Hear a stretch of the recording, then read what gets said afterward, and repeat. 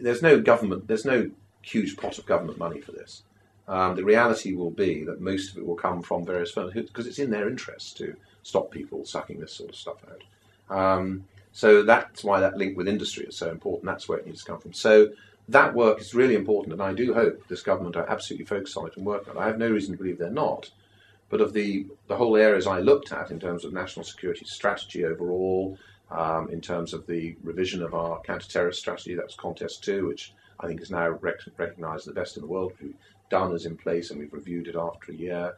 The, the whole issue of uh, CBRNE, chemical, biological, radiological, where we hadn't got a strategy before, where we now have, and a completely new strategy in terms of linking it with industry, and a series of brochures telling industry and academe what areas to look at, where actually they will get government leverage, and what's most important to us. All of that's in place. So all of these things I think we've achieved over the last three years, and, and others. I could go on until you're bored with the list.